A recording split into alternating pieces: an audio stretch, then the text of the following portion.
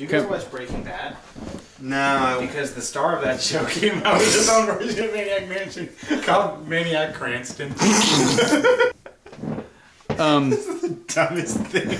We've come up with like 20 of these. It's like, let's let's take the name Maniac Mansion and just think of things that rhyme with it and just keep doing that.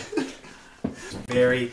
They came out with a version of Maniac Mansion that was very controversial because it um, showed the plight of slaves in early America uh, in the South, and it was called Maniac Plantation.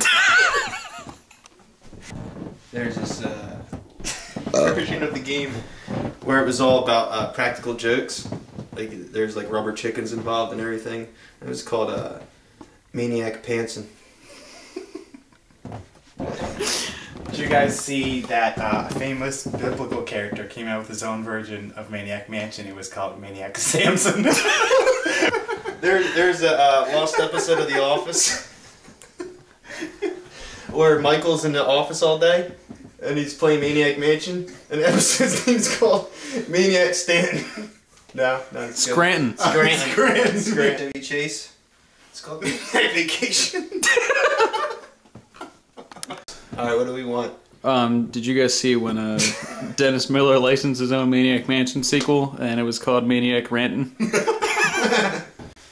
Have you guys ever played the uh, the version of Maniac Mansion? It was released in the '90s by a popular boy band trio. It was called Maniac Hanson. Let's try it Guys, I again. totally feel like Jim Henson right now. I feel like Jim Henson's lover. I feel like Jim Henson right now because I think I have pneumonia.